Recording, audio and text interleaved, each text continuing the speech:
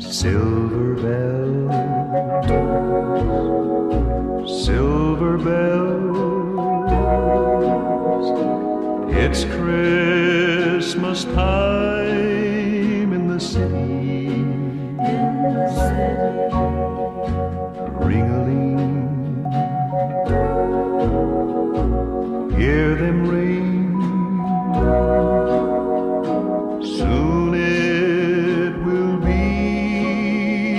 Christmas Day. Soon it will be Christmas Day.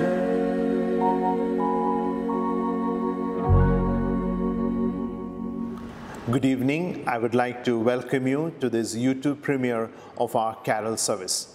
Due to the pandemic, we have compiled a selection of special carols sung by a church choir in the past years.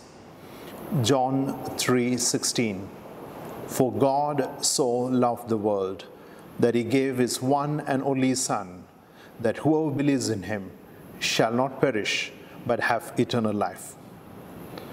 Beloved in Christ, let us prepare ourselves to hear again the message of the angels. And in our hearts and minds, let us be ready to go up to Bethlehem to see the child in the manger, the Savior who is born. Let us hear from the Holy Scripture the story of the loving purposes of God from the first days of our disobedience until the glorious redemption brought us by the child who was born in Bethlehem. Let us pray. Almighty God, we thank you for the love that you showed us in Christ Jesus, who came into the world 2,000 years ago to live among us and to die on the cross of Calvary so that we can have eternal life. We pray that you would speak to us afresh as we hear the story and message of Christmas through the carols and the lessons. Open our hearts and our minds to hear the good news of the birth of the Savior. Bless this evening that we spend together in your presence. This we ask in the name of the Prince of Peace. The child was born in Bethlehem, our Savior, Jesus Christ. Amen. The traditional carol that we will now sing is a translation by Frederick Oakeley of the Latin carol Adeste Fideles, generally accepted to have been written by the English hymn writer John Francis Wade in about 1743. Let us all join together in singing, O come, ye faithful.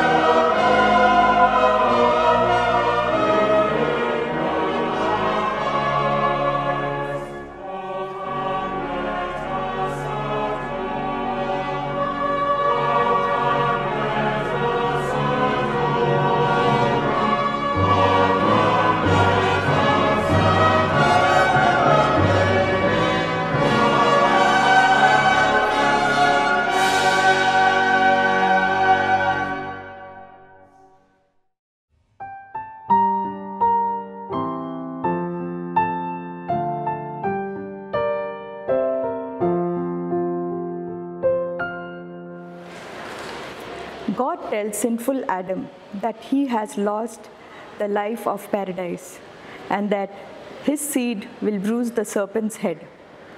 Genesis chapter 3, verses 8 to 15.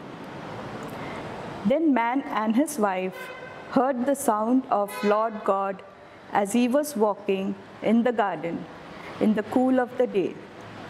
And they hid from the Lord God among the trees of the garden. But the Lord God called to the man, Where are you? He answered, I heard you in the garden, and I was afraid because I was naked, so I hid.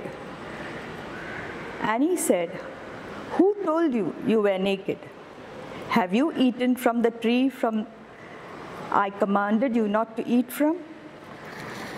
The man said, The woman you put here with me, she gave me some fruit from the tree, and I ate it. Then Lord God said to the woman, What is this you have done? The woman said, The serpent deceived me, and I ate.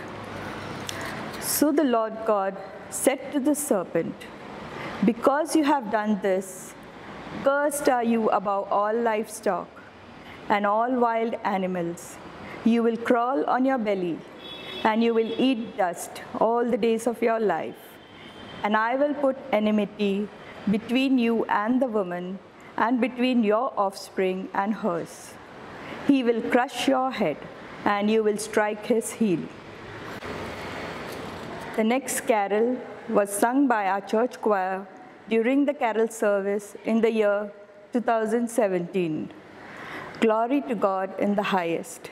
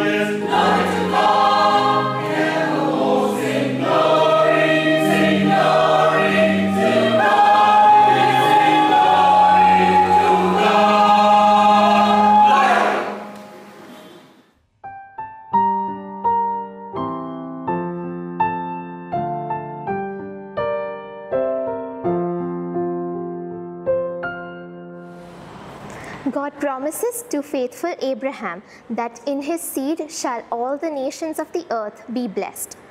Genesis chapter 22, verses 9 to 18. When they reached the place God had told him about, Abraham built an altar there and arranged the wood on it. He bound his son Isaac and laid him on the altar on top of the wood. Then he reached out his hand and took the knife to slay his son. But the angel of the Lord called out from him from heaven, Abraham, Abraham. Here I am, he replied. Do not lay a hand on the boy, he said. Do not do anything to him. Now I know that you fear God, because you have not withheld from me your son, your only son. Abraham looked up, and there in a thicket he saw a ram caught by its horns. He went over and took the ram and sacrificed it as a burnt offering instead of his son. So Abraham called that place, The Lord will provide, and to this day it is said, On the mountain of the Lord it will be provided. The angel of the Lord called to Abraham from heaven a second time and said, I swear by myself, declares the Lord, that because you have done this and have not withheld your son, your only son, I will surely bless you and make your descendants as numerous as the stars in the sky and as the sand on the seashore. Your descendants will take possession of the cities of their enemies, and through your offspring, all nations on the earth will be blessed because you have obeyed me. The next traditional carol was written by an Irish poet and philanthropist, Cecil Frances Alexander, in 1848, and the tune Irby was composed by Henry J. Gauntlett. Let us all sing together, Once in Royal David City.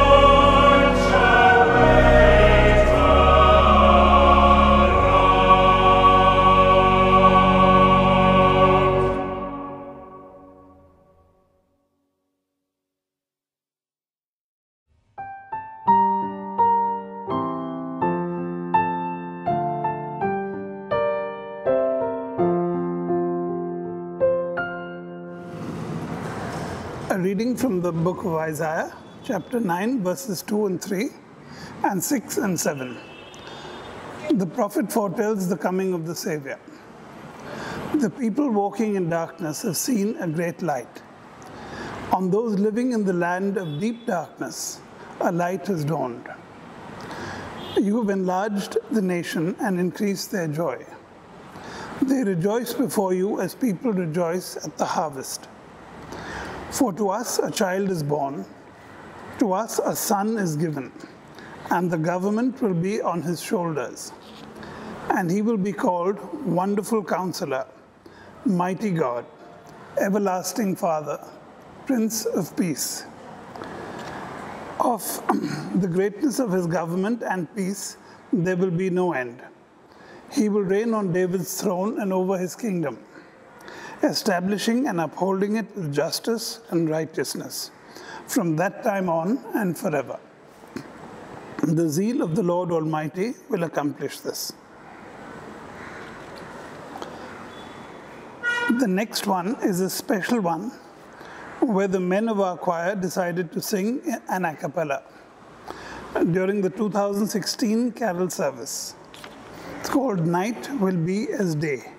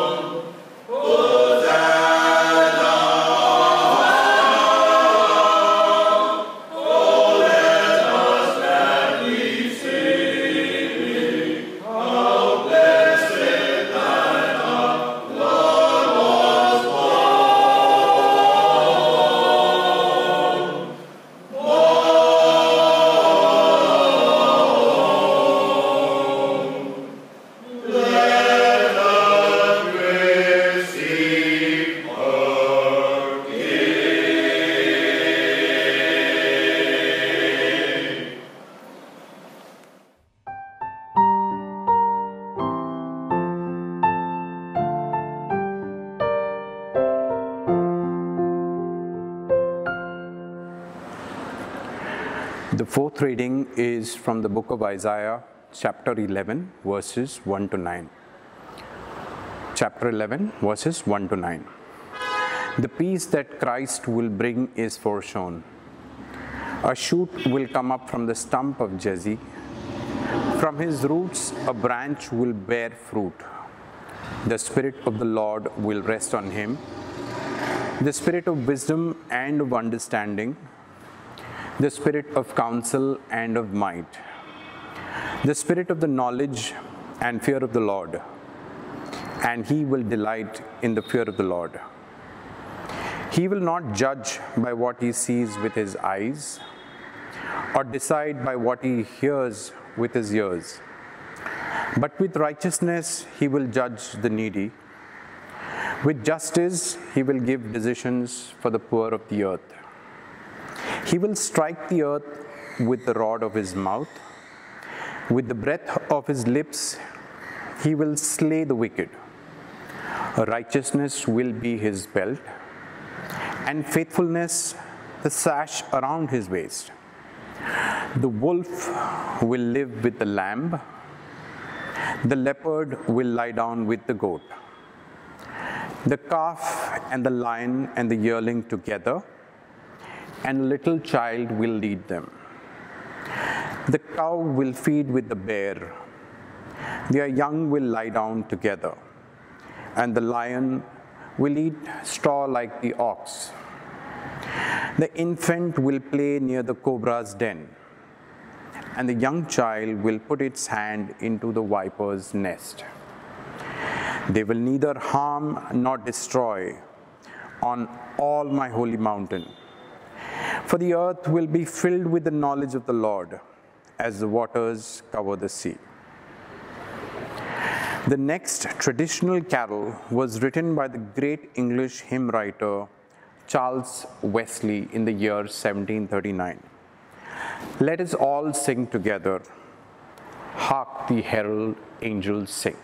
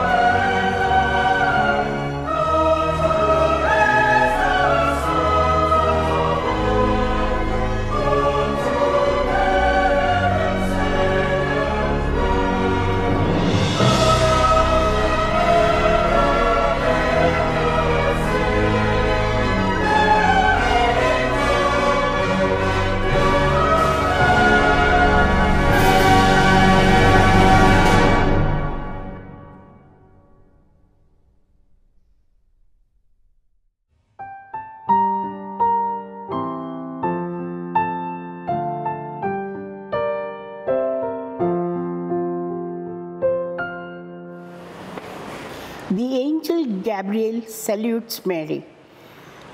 Luke 1, verses 26 to 38. In the sixth month of Elizabeth's pregnancy, God sent the angel Gabriel to Nazareth, a town in Galilee, to a virgin pledged to be married to a man named Joseph, a descendant of David. The virgin's name was Mary. The angel went to her and said, Greetings, you who are highly favored. The Lord is with you.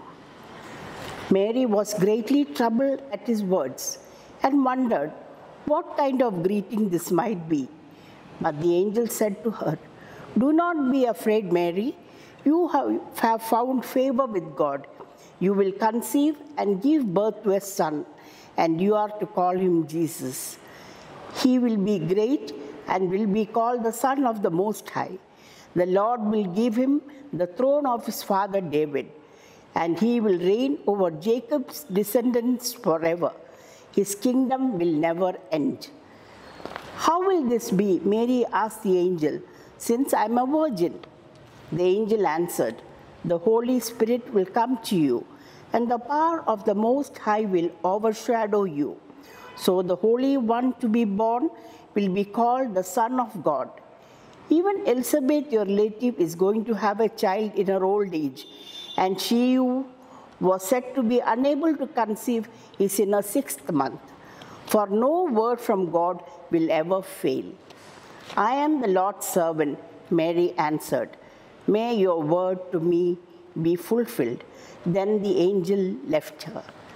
The next is an anthem composed by an English composer and church organist, Caleb Simper, which was performed by our church choir in the 2018 carol service. Let us all join together to sing the carol, Break Forth into Joy.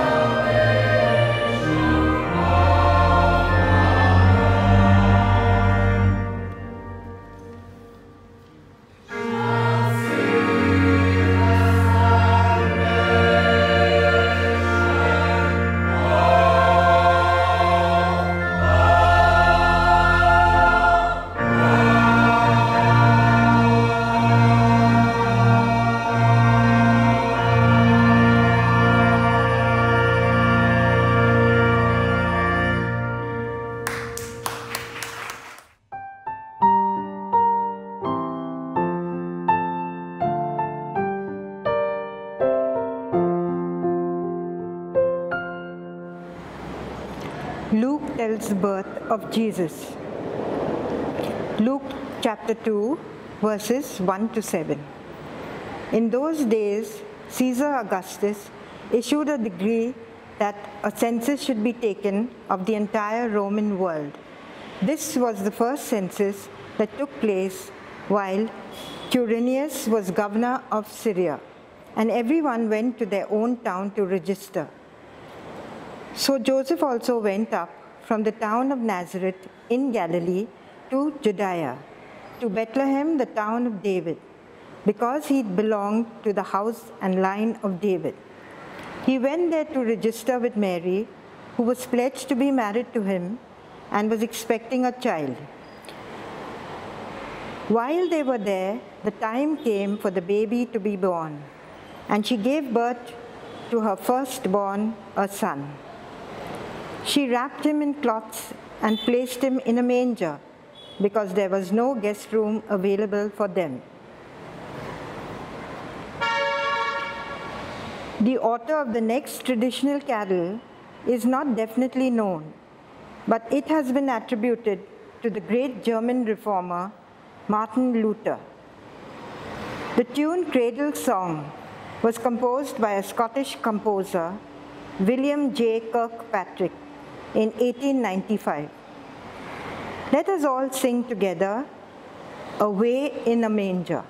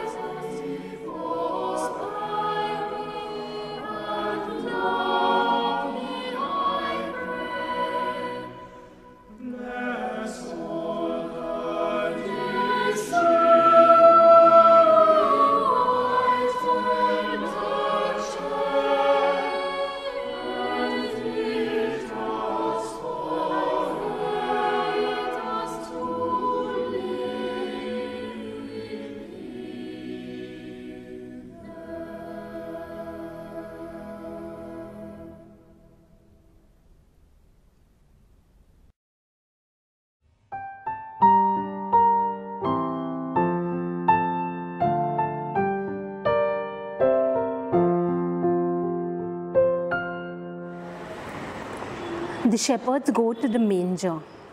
Luke chapter 2, verses 8 to 16. And there were shepherds living out in the fields nearby, keeping watch over their flocks at night. An angel of the Lord appeared to them, and the glory of the Lord shone around them, and they were terrified. But the angel said to them, Do not be afraid. I bring you good news that will cause great joy for all the people. Today, in the town of David, a Savior has been born to you. He is the Messiah, the Lord. This will be a sign to you. You will find a baby wrapped in cloths and lying in a manger. Suddenly, a great company of the heavenly hosts appeared with the angel, praising God and saying, Glory to God in the highest, and on earth peace to those on whom his favor rests. When the angels had left them and gone into heaven, the shepherds said to one another, Let's go to Bethlehem and see this thing that has happened, which the Lord has told us about. So they hurried off and found Mary and Joseph and the baby who was lying in the manger. The next anthem is again by the English composer Caleb Simper, who was quite known for his beautiful harmonies. This was a song sung by the church choir in 2019 carol service. Peace on earth.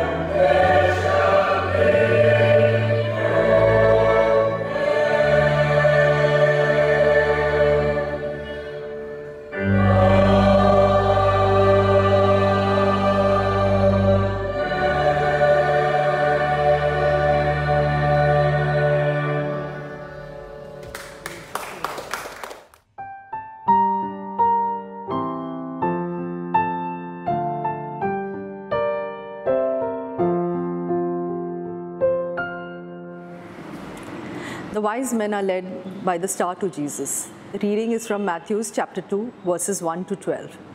After Jesus was born in Bethlehem in Judea, during the time of King Herod, Magi from the east came to Jerusalem and asked, Where is the one who has been born King of the Jews?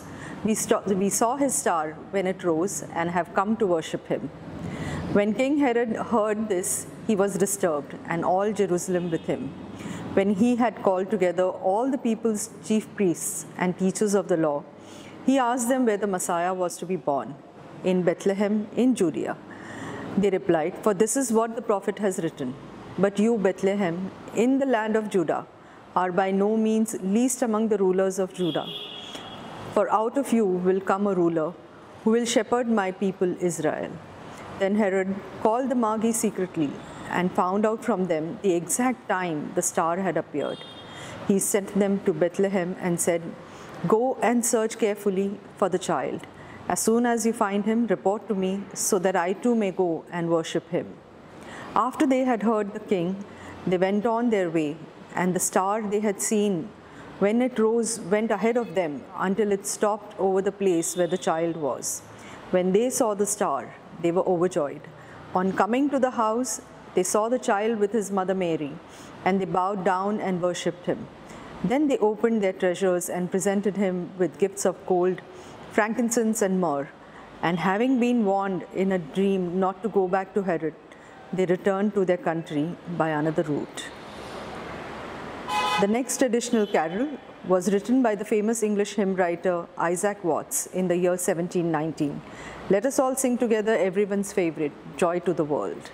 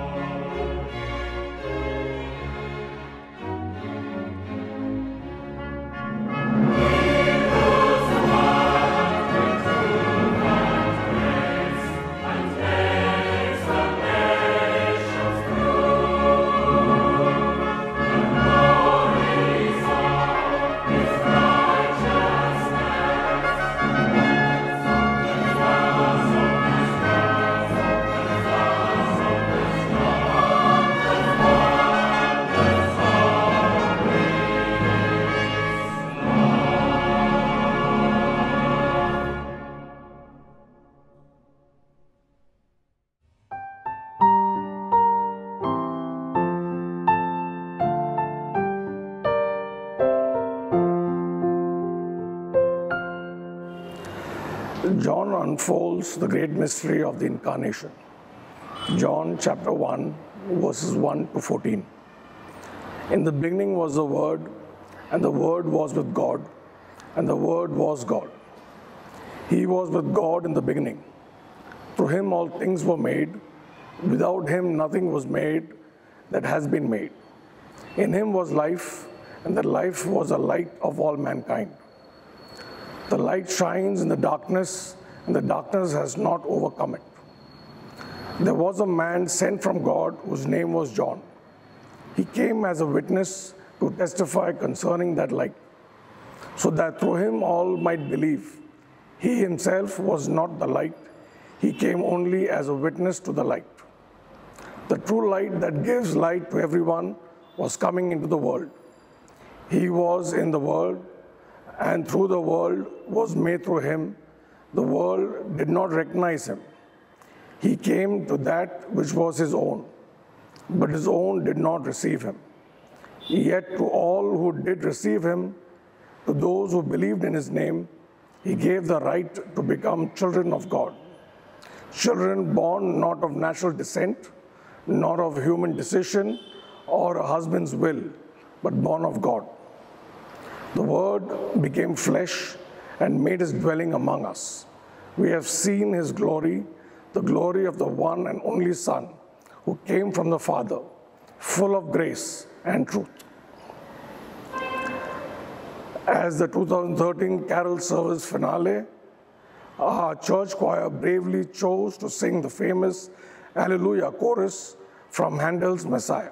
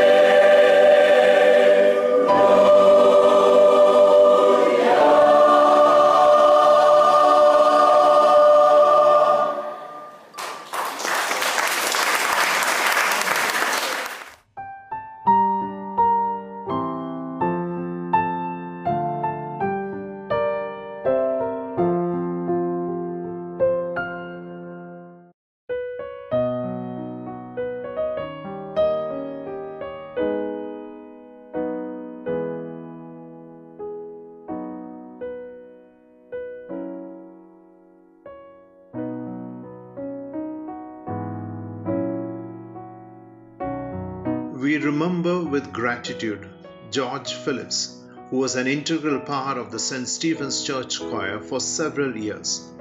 George believed that the choir has an equally important role to play in regular Sunday worship services as on special occasions like the carol service, and he was regular for the practices. You may have noticed that he was a part of every carol by our choir that was presented today, including last year's.